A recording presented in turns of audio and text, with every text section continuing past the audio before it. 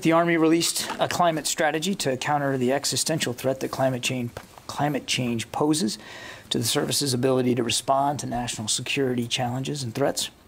The strategy is nested within the department's Climate Adaptation Plan and Interim National Security Strategic Guidance.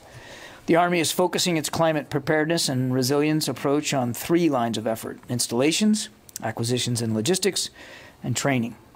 Among the objectives that are outlined in the strategy are the uh, goal to achieve a 50% reduction in Army net greenhouse gas pollution by 2030 compared to 2005 levels, to attain net zero Army greenhouse gas emissions by 2050, uh, and to proactively consider the security implications of climate change in strategy planning, acquisition, supply chain, and programming documents and processes. All right. We're having problems here. Can I have the spare? I'm sure there's more after that. the strategy is available on Army.mil, and the Army will be talking about more, more about it in the coming days. And clearly, the Secretary appreciates the work that the Army's doing uh, on these important climate change priorities. Uh, in Africa, the annual training exercise Cutlass Express 2022 is underway after an opening ceremony in Djibouti on the 6th of February. Now in its 20th iteration, Cutlass Express is sponsored by U.S. AFRICOM and led by U.S. Naval Forces Europe, Africa, and U.S. Sixth Fleet. The exercise is being conducted in the vicinity of Bahrain, Djibouti, Kenya, Madagascar, Mauritius, and the Seychelles until February 17th. 14 nations are participating and will conduct several maritime security exchanges to include vessel queries and shipboardings, airborne maritime patrol operations, and search and rescue drills. The exercise promotes national and regional security in East Africa, increases interoperability between the U.S., African nations, and international partners. Finally, I'd like to announce that the Secretary has approved the next round of DoD advisory boards and committees for resumption of operations. Uh, these are going to be listed in a press release that will be going up on defense.gov here very, very shortly. So you don't have to write all these down, but I will list them. For the record, these boards include the Defense Innovation Board, the National Security Education Board, the National Security Agency Emerging Technologies Panel, the Advisory Board for the National Reconnaissance Office, the Army Education Advisory Committee, the Education for Sea Power Advisory Board, the Board of Visitors for the Western Hemisphere Institute for Security Cooperation, the Strategic Environmental Research and Development Program Scientific Advisory Board, and the Board of Regents Uniform Services University of the Health Sciences. Positions for these boards will be fi- uh, filled in, in coming weeks, and we'll clearly keep you up to date on that. The department's boards and committees have been and will continue to be a valuable resource as we defend the nation, take care of our people, and succeed through teamwork. Uh, and I know that the Secretary and all our department leadership look forward to working with these advisory boards going forward. Finally, in light of all that, I'd like to announce that the Secretary has nominated Mr. Michael Bloomberg to serve as the chair of the Defense Innovation Board to leverage his experience and strategic in insights on innovation, business, and public service. Mr. Bloomberg, as you all know, uh, an entrepreneur and a leader who served three terms as the mayor of New York City, will bring a wealth of experience in technology, innovation, business, and government to the Defense Innovation Board. Uh, his, his leadership will be critical to ensuring the department has access to the best and brightest minds in science, technology, and innovation through the team of diverse experts that he will lead as chair of that board. And uh, obviously, the Secretary is very grateful that Mr. Bloomberg was willing to take this additional responsibility on and very grateful that he's willing to serve in that capacity. And with that, we'll start taking questions. Bob, over to you. Thank you, John. Uh, two questions related to Ukraine situation. Sure. First, do you have there been any additional uh, shifting or movement of U.S. troops within Europe, um, units uh, to Eastern Europe uh, beyond what you've already described, I think, last week? No, sir. And the second question is regarding the lack of media access to the troops who are on the ground there and who are deploying there. Mm -hmm. Can you just take the uh, explain what the rationale is for that position of not providing full access? Sure. Well, first of all, thank you for uh, the question, and um, uh, and we obviously have received the the letter from the Pentagon Press Association leadership uh, regarding their concerns over this, and we certainly uh, appreciate you sharing those concerns, and we obviously respect those concerns very much. Um, look, any decision to provide media access to our troops, whether it's uh in an operational environment or a training environment, um, is a decision that we, we, we take seriously. Uh, we don't make decisions to grant access or not to grant access lightly. Uh, and there's lots of factors that go into that. Um, uh, uh, sometimes it has to do with operational security. Sometimes it has to do with with how that kind of access nests into uh, the larger strategy that we're pursuing. So, uh, what I would tell you, Bob, is uh, again, absolutely respect uh, the desire to do it. Uh, I hope you know how much I respect that too. We're we're just not at a point now where we are able to provide that kind of access. And if that changes, believe me, I'll, I'll be the first one to let you know that. But we're still working our way through um, what sort of coverage is is best suited for this particular mission. Um, uh, and I, I say the following not as a not as an excuse or anything like that, but uh, you know to remind um, uh, this is a very small number of, of uh, troops that are that are quote unquote deploying, um, and quite a few of them are actually just redeploying inside Europe, and that we have 80,000 other troops in, in, Europe. So the, the additions that we're making, uh, while the Secretary deems them uh, necessary to reassure our, the eastern flank of NATO, uh, they are but a small fraction of the, the total number of troops that we have in Europe and have been there and have been there, um, again, as part of our NATO commitments for a long time.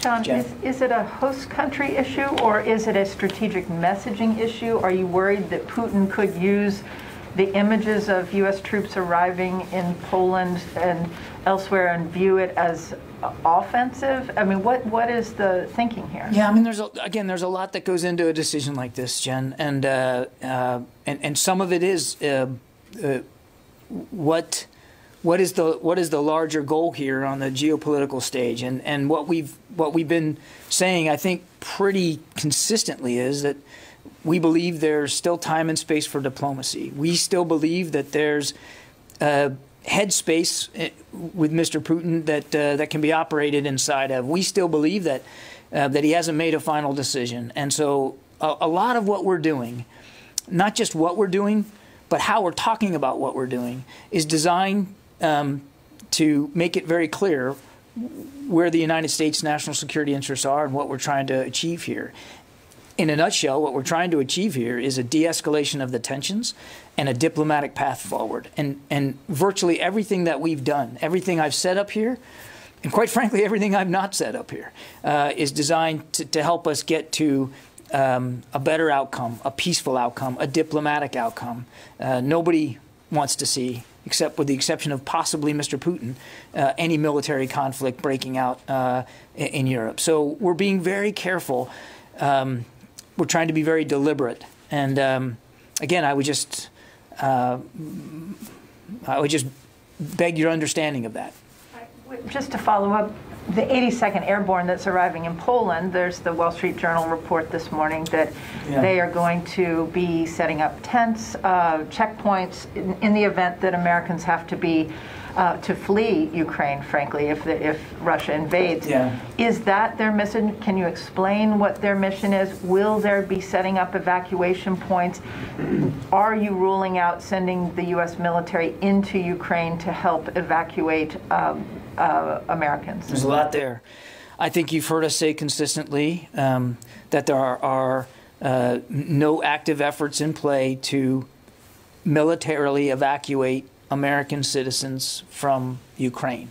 Uh, the State Department has been exceedingly consistent and clear uh, about warning Americans uh, from from away from traveling to Ukraine, and the president himself just uh, the other day um, ad- advised Americans to leave Ukraine, given the current tensions. Uh, so there's been plenty of time and opportunity, and it's it's not a war zone. I mean, there, there there's plenty of physical opportunities to uh, to remove yourself from Ukraine, including commercial air, railroads, good highways. There's lots of ways to, to leave, and, and all that is still at play right now. And again, we've said from the very get go, there's there's no no effort right now ongoing, uh, nothing that we're expecting to use military assets to move Americans out of Ukraine. That that's the same today.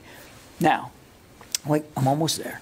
It was a lo- lot of questions, and I'm just I'm going to work my way through this. Um, we when the secretary decided to send leading elements of the 82nd Airborne, which we talked about very publicly, um, we said from the very get-go that one of the reasons why we chose that unit is they're multi-mission and they're on a high alert readiness posture as it is. That's their job. That's what they do. And they do a lot of things really, really well, and they can do those things quickly. And we said, as the Secretary said, in matter of fact, when he was up at this very podium, that uh, they are multi mission capable and they're going to be ready to do a number of contingencies, including, and he was asked, you know, would that include evacuation? And he said, if that's what we're called to do, we're capable to do that. So I, I, I can't rule out the fact that uh, these soldiers could be used with some, to, in, in, to some degree, with evacuation assistance on the other side of that border. Um, and certainly they're going to be prepared to do that. In fact, I've said that my, myself publicly. Um, that uh, the ability to contribute to any assistance that might be required, might be required, uh, the 82nd would be prepared to do that. Now, as for what exactly they're, you know, how they're going to prepare for that mission physically and tangibly. Um, you know, I don't have anything to, to speak to uh, with great detail today, but that is clearly going to be is one of the missions that they're capable of doing, trained to do, uh, and will be ready to do if needed. But Jen, the other thing that's um, uh, I'd like to just foot stomp, and it kind of goes back to what I said at the risk of sounding redundant. Um, if Americans that are in Ukraine heed the warnings that they have gotten from the State Department and from the President himself, there should be no need for the 82nd Airborne uh, to have to assist with evacuation assist, uh, uh, evacuation missions. Uh, if uh, if Americans that are in Ukraine are are are paying close attention to the to the warnings and the advisories that they've gotten and and do the right thing while there's time to do it. Did that answer your question? Yes, thank you. It was a long one. I appreciate your patience. Megan. Uh, can we get an update on the groups of troops who are newly arrived uh, or newly moved around in Europe? How many has, have made it to Romania? How many have made it to Germany? How many made it to Poland? And also, Jen asked about the Wall Street Journal and the Poland situation in Romania, what are they going to be doing in Germany at the command headquarters? What are they going? What is their, what are their days going to look like once they're all settled? Yeah, the, the Stryker Squadron. I think they're leaving Germany today. Um, it's going to take them some some days to get to Romania. I think there's some very small leading elements, as you might expect. It, it, uh, when the army moves, they always move some leading elements. So there's a there's a there's some small elements. Uh, uh, already in Romania preparing for the rest to come. Uh, they'll be operating uh, uh with the, our Romanian counterparts. Um, uh, I don't have anything more detailed than that. I'd point you to EUCOM to, to really speak to that. But they're, remember, they're really going to, to reassure uh, and to be able to provide additional capability in Romania. I would also remind Megan there's, enough, there's already 900 um, so this uh, this thousand almost doubles what we already had in, in Romania. Um, nothing really significant changes in terms of the 82nd Airborne. They continue to flow in in tranches. So um, of the 1,700 that we said were going, um, uh, less than half um, are already there are there, and, and the rest will flow in over the next few days. And again, they will be establishing themselves, as I answered to Jen, uh, uh, to be able to respond to multiple contingencies and to, to conduct whatever missions they're called on to do. One of them could very well be uh, preparing uh, for some sort of evacuation assistance on the Polish side of that border. So to follow up, the Army's Fifth Corps has a headquarters in Poland that they stood up recently ostensibly for this sort of mission, are they being involved at all in any of this, or you know, were they were they considered to be involved in any of these deployments? Yeah, I mean, I think they're absolutely involved, and I think. Uh, uh, the Stryker Squadron sort of reports up through that chain of command as well. Um, I'd point you to EUCOM to speak with more specificity uh, about how they're how the head, different headquarters are going to be broken down. Yeah, Jenny. Thank you, John. Um, I have a question on the Korea, China, and North Koreas. And the first question is the uh, the three-party uh, U.S. and South Korea, Japan defense ministers meeting will held will held be soon. Is that date set yet? I'm sorry, is that what? Defense ministers, three-party tops, the South Korea, U.S., Japan, defense ministers Yeah. meeting will be held soon. It Okay. announced uh, yesterday. Yeah. Is date set yet? It, it, is, is it? I mean date. When will be the Is there a date? Yes. Oh, I think we'll have very, we'll have a, more to talk about that um, pretty soon. I think I'll, Means pretty soon. means very soon. Pretty soon is how soon? It's very soon. Well, you didn't mention the date, but I Yeah, know I didn't mention the date. But it's another, okay, skip that anyway. Skip that anyway. Yeah, I, I find that out very soon. And uh, the other one, the North Korea's ICBM missile operating base, which is located just 15 miles from the Chinese border. Uh, aren't you worried about this? What is the DOD's uh, opinion on this? I'm sorry, can you repeat the question? Uh, Pay attention, please. I, yeah. Uh, North Korea's I get that a lot. I you was know. just looking to see. I was just looking to see if I had more on your first question. Um, schooling going on. yeah, I'm sorry. Go ahead. I- uh, um, Okay, on You the, got North, on the North Koreans' uh, ICBM missile operating base, which is located just 15 miles from the Chinese border. So I'm too worried about this? If I don't have any information on that, Janie. why not? I don't have any information on the installation status in, in North Korea. Let's give another one. Uh, China has uh, pledged to support for Russia's invasion of uh, Ukraine. And also North Korea also said that uh, it supports Russia through face-to-face meeting with the Russian Putin recently. So what is the United States' strategy toward China and North Korea? Do you have any new strategy? I, I don't. I mean, are you referring to the the, the readout of the conversation between Xi and Putin? Yes, because the Chinese uh, pleased, you know, they involved the Russian uh, crisis. They strongly promise with Putin, and also North Korean Kim Jong Un face-to-face meeting with the Russian authority. He also supports Russia to involve Ukraine crisis. I mean, so if those China and North Korea involved Ukraine crisis, so do you have any new strategy? I mean, DOD have any strategy? A strategy. Yeah, toward China and North Korea. I, don't know any new strategy with respect to China and North Korea and whatever statements they might have made in support of what Mr. Putin is doing.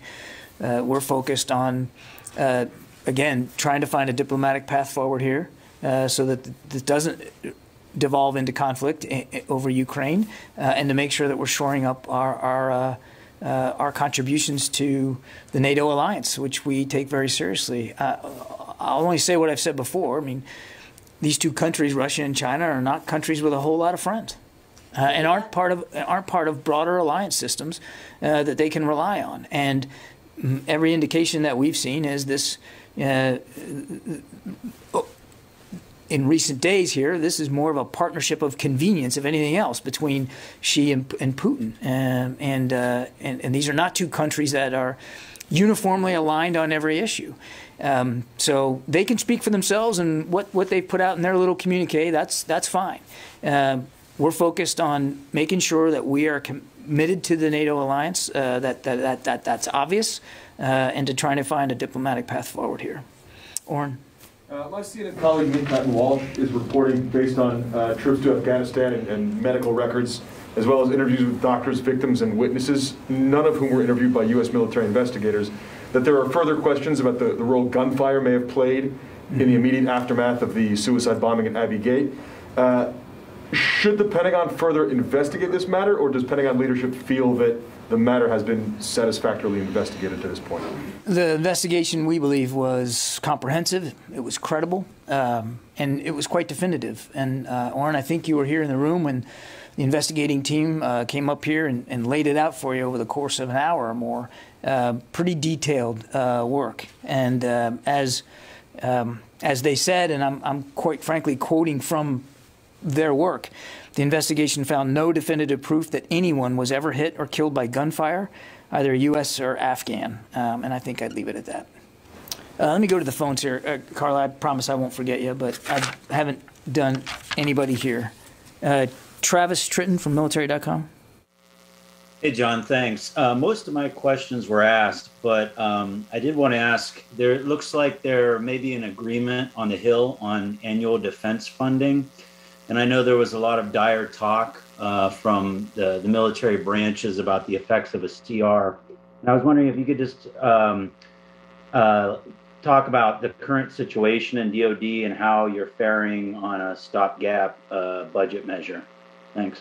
It's not for us to, uh, to, to, to, speak to a stopgap spending measure. It's really for Congress to speak to that. And we, and we certainly hope that, uh, uh, that we can get full funding for the year and not uh, obviously, not another CR that takes us yet another month or two. Uh, what the Secretary has been very clear about is the importance of four year funding and, and, what that does for us. I mean, with a CR, as you know, Travis, we can't start new programs. You can't build new ships. You, we, are going to have to delay uh, uh, perhaps as much as 100 military construction projects. And when you do that, it's not just the military installations that are affected, it's the local communities and local businesses uh, around those installations that will suffer. In order to pay for the 2.7% pay increase that we want to give our troops, much deserved, by the way, uh, that, that money is going to have to come from other accounts, and that, and that could eat into operational readiness as well. Uh, it, it, it, could affect uh, health care funding for military families. So um, all of these things are at stake the ability to to conduct new research and development in new important technologies like microelectronics, like artificial intelligence, like hypersonics. All of that would have to be slowed down if we don't get full year funding. So uh, we've been nothing but clear. The service chiefs were up on the Hill uh, a week or so ago. I think they laid it out in very specific terms what uh, what living under a continuing resolution uh, means. Uh, you described it as dire talk, and uh, and frankly, I think we would agree with that. That uh, there are there there could be dire consequences if we can't get full year funding for this year. Now, look, the Congress has never failed to to appropriate uh, for us in, in the past, and uh, uh, and, and, the secretaries uh, obviously interested in in, in, making sure we get that full year funding. We we certainly call on the Congress to. to do what they've always done, and that is to, to support the department with with funding for a full year, as was authorized um, Kasim from Anadolu. Uh, yes, John, uh, thank you very much. Uh, the Washington Post had uh, acquired actually an army investigation on withdrawal from Afghanistan. And in that report, uh, Brigadier General Sullivan uh, told investigators that he wanted to stage supplies to host 5,000 evacuees at Kabul airport, but his efforts was complicated because he was not permitted to discuss the possibility of a full-scale evacuation with anyone other than British officials. So my question is, why would the US prefer not to be transparent to the partners who without hesitation took arms to support the US after 9-11?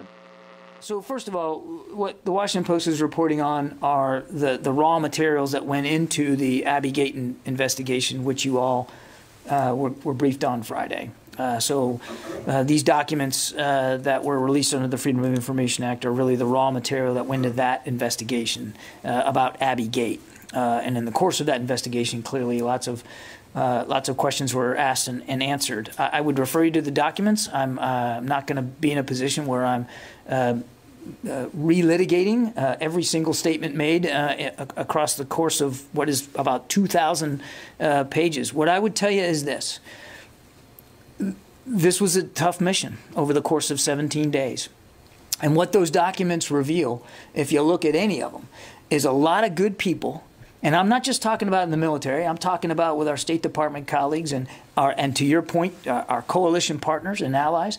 A lot of good people making a lot of tough decisions in unrelenting circumstances, very difficult circumstances, uh, with as an, an increasingly desperate uh, crowd of Afghans who were trying to, to leave the country. Um, and we've been nothing but honest and open about the fact that it wasn't perfect in every regard. We've got an after action review going on right now. We're going to learn from the mistakes were made, uh, but we're also very proud uh, of the fact that together, with our interagency colleagues at the State Department, uh, brave diplomats who are on those gates with our Marines, uh, with our coalition and allied partners, that 124,000 people were safely evacuated from Afghanistan. That's no mean feat. You know, one of the things we don't talk about today is the fact that uh, we've got just over 6,000 now um, Afghans that are on two military bases here at home. I mean, tens of thousands of Afghans are now starting new lives in this country because of the work that the interagency did, not just the military. We housed them and provided a safe and secure environment, but HHS was involved, and DHS was involved, and the State Department was involved. There was a lot of good work that was done here. I'm not going to relitigate every single document in that um, in that trove there that's on the uh, on the FOIA website. You can read it for yourself. But I would beseech you, as you do that, to just not forget the larger perspective here of what we were able to get done. Mike Brest, Washington Examiner. Hi, Mr. Kirby. Thanks for taking my question. Back in December, you said that there were active discussions going on about mandating the coronavirus booster vaccine. Uh, where does that stand right now? Uh, no uh, decisions to speak to, Mike, uh, with respect to any decisions on uh, um, making the booster mandatory. I, I think we're, we're, still examining that. Joe Gould, Defense News.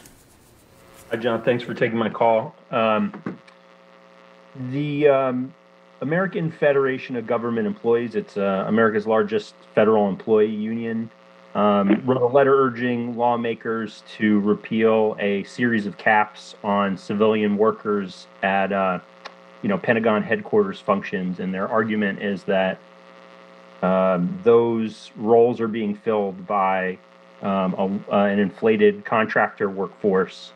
Um, would uh, the Pentagon uh, welcome that move by lawmakers if, if they decide to uh, follow the recommendation of um, of the union? Joe, I'm going to have to take your question there, partner. I am not aware of that letter or that issue, and uh, I don't think it'd be good for me to speculate on that. So let me take that question. We'll get back to you. Carla. Thanks. Just jump, going back really quickly to Jen's and to Bob's question. So can you confirm the details that troops that are currently in Poland are setting up tents, checkpoints, and other things to prepare for an evacuation currently?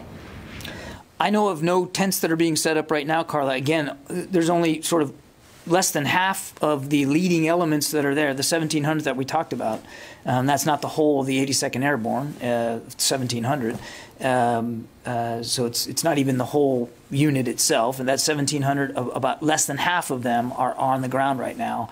Um, I, I, can't speak to uh, specifically whether tents are being set up. Again, they would be prepared to do that kind of thing, uh, and I, I, certainly am not going to rule out that in coming days or weeks uh, that they might be setting up um, some temporary facilities just in case there's a need to, in, in case there are uh, Americans who are, are, coming across that border and need help. They're trained to do that. They're trained to do a lot of things. That's that's one thing they're trained to do. Uh, but uh, this isn't, and we've been very clear. We're not talking about a, a, a classic non-combatant evacuation operation where you're sending in gray tails and flying people out. That's that's not what's envisioned here. And frankly, I, I, again, I, I hate to be redundant, but I'm gonna be it, it, it doesn't need to come to that. I mean, I mean, if, if, if things work out the way they should, there'll be no reason uh, for them to handle any evacuees because there won't have been an invasion, another invasion by Mr. Putin and Russian military forces. And even if that is the course that happens, another invasion, um, if Americans are listening, listening carefully and following the guidance by the State Department and by the President of the United States, they've they should be leaving now. They, should have been leaving before now. And there's plenty of ways to do that just by going to Kiev and jumping on an airplane and leaving, or getting in a car and, and driving across the country. I mean, it, it, it's you know, there, there's it's not a military conflict zone right now, and there's no reason why it should. Been designated as the evacuation point? Should it come to that? Uh, I know of I, I don't think that there's a, we've designated specific evacuation points in this. Uh, This will be something that the 82nd and, the, and the General Wolters, as the European Command Commander, would be thinking about. I, I don't know if he's made final decisions on that right now. Again, um, uh, there, we want to be ready for everything. We would ask that Americans in Ukraine also make themselves ready uh, and do the right thing uh, for themselves and for their families and, and not travel to Ukraine. And if they're in Ukraine, to leave Ukraine while there's time and certainly every capacity and capability to do so safely and efficiently through normal commercial transportation. And then lastly, um, you said that no additional troops have gone to Europe, but have any additional troops in the United States been placed on high alert since you last updated us? Not that I'm aware of, no. Okay, thank you, John. Uh, First, I have a question on Ukraine. So you're asking thousands of, of Americans' families to abandon their lives in Ukraine and leave, which is not an easy decision to make, as, as you know. Why should they do that? Based on what? Up until now, you say, we don't know, we're, we don't think Putin has made a decision. We don't have the intelligence to say whether this is going to happen or not. So you're asking them to make such a crucial decision that will have major implications on their lives without giving them any real information that there's an imminent threat. I mean, that's what I'm getting at. No, Fadi, I think I'm going to take issue with the question there. First of all, uh, we're advising them uh, to, to do this, and uh, the State Department has, I don't want to speak for my State Department colleagues, but they've been very clear uh, about that guidance and that, and that advice. Obviously, uh, we can't make them do it. They have to make those decisions for themselves. Uh, um, and uh, I think, Fadi, you've been sitting on these briefings uh, as well as anybody else. We've been nothing but clear about the continued military buildup along that border with Ukraine and in Belarus uh, and the continued military options that Mr. Putin has available to him. Uh, we have been I think, ex- extraordinarily transparent um, uh, about uh, the possibilities uh, of military conflict inside Ukraine. Um, and so we've made no bones about that. And, it, and in our best judgment as a government, our advice is that this is not the time uh, to be going to Ukraine. It's not the time to be staying in Ukraine. Each of these families, you're right. These, we're not saying they're easy decisions. We understand that, and they're going to have to make these decisions for themselves and as appropriate. All, all we can do, all we must do as a government, is give them the best advice and guidance we can based on the information that we're seeing uh, and what and what we know to be the case on the ground. So that's what we're doing. Okay, Can I ask another question, please? Sure. So do you, um, I I asked um, a couple of days ago again about the uh, operation against ISIS leader Qurayshi, northeastern Syria.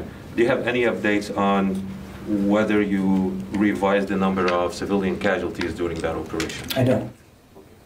Tony Capaccio, Bloomberg. Hey, Jen, uh, sorry, accidentally muted myself. I have a budget question, FY23 budget question. Yesterday, Secretary Wormuth confirmed that the DoD has not yet received its top-line guidance from OMB, which isn't surprising since DoD set over its desired number uh, in mid-January. But here's my question: What is the current DoD inflation estimate for FY23? It was 2.2 percent for 20 for 22. There's a lot of interest in this subject, and I know DoD has an inflation estimate for 23. Uh, what is it? Tony, uh, what I, I will take your question. Uh, Sylvie? That'd be good. Written answer. Hello, hello, uh, John. Thank you. Um, I have actually uh, uh, three questions. First, I want to know um, if you have uh, any, if you have any any indication about more Russian troops arrivals uh, at the border with Ukraine. Uh, I want to know if you have any detail on the arrival of uh, Russian bombers in Kaliningrad. And also, the Russian chief of defense, General Gerasimov, uh, has arrived in Belarus today um, uh, as the uh, exercise, military exercise, is going to start. I wanted to know if for you it's something usual or if you find his uh, presence on the ground concerning. Concerned by his presence on the ground. He's the chief of defense for uh, for his military. It's not uncommon for chiefs of defense to observe exercises. I think you have to look at it in the context of what's going on. Obviously, um, we're not looking at this exercise in a vacuum, um, uh, and uh, we we understand that senior military leaders are very much involved in facilitating this buildup, a buildup which we believe is destabilizing and unnecessary, uh, has nothing to do uh, since since NATO is not a threat uh, to Russian sovereignty. Since Ukraine is not a threat to Russian sovereignty, there should be no reason for this buildup. So we obviously are viewing this certainly in light of what's going on, but uh, but his presence alone at this exercise is not setting off alarm bells here at the Pentagon.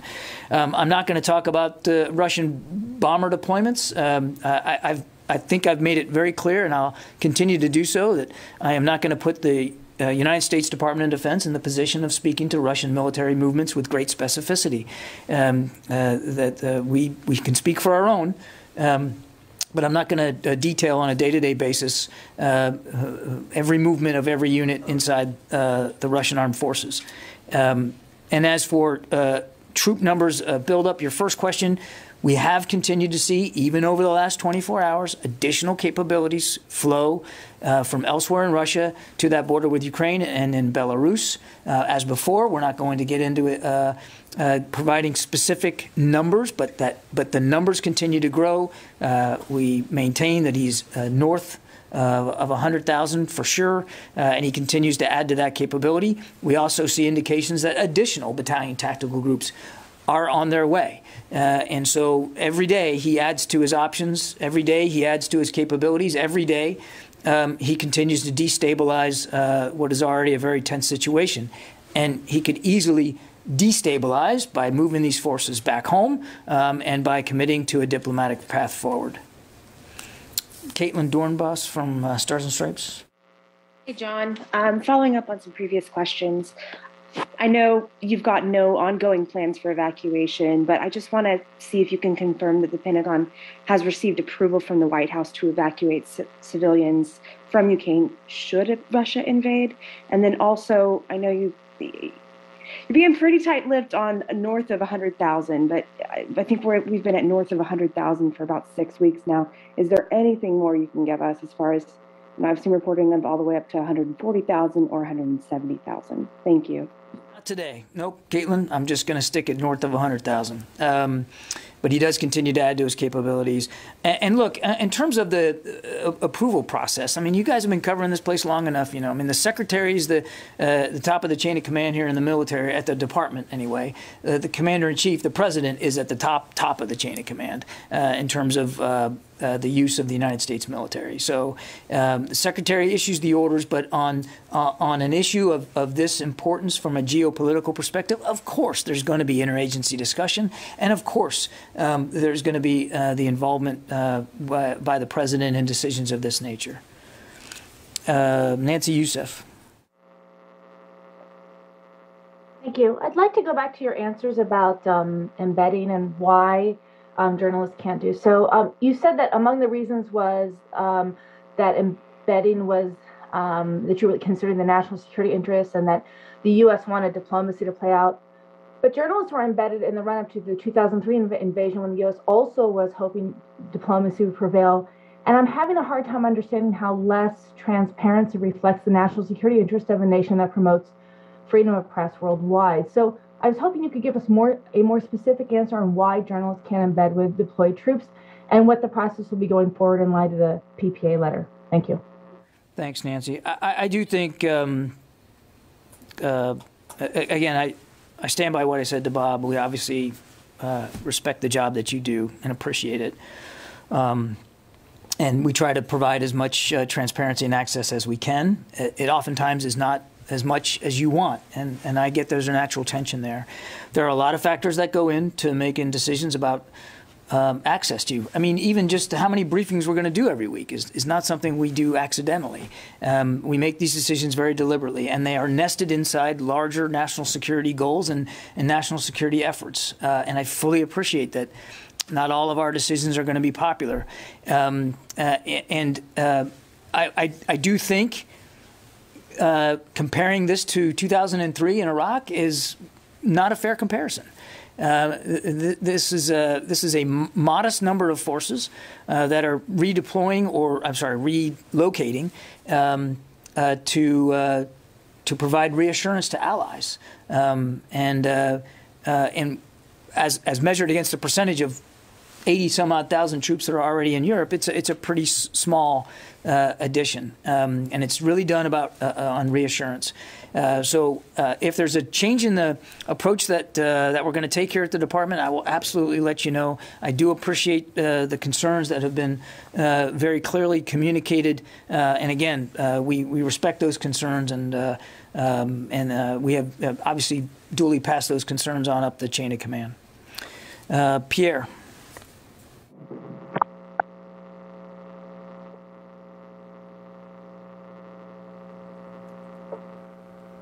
John, I'm here, shipmate. You there? uh, yes, I have a question. Uh, Iran today announced that they have a new ballistic missile. Do you have any early assessment of uh, uh, this uh, missile? Uh, if, if it is also dangerous to uh, U.S. soldiers and to allies in the area?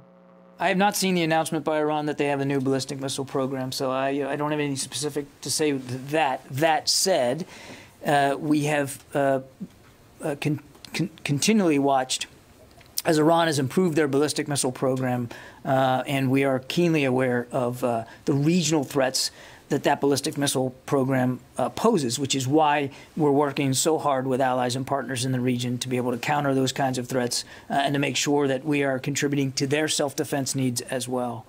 Okay, I've got time for one more, and I'd like to go to Anna Maria from Romania TV.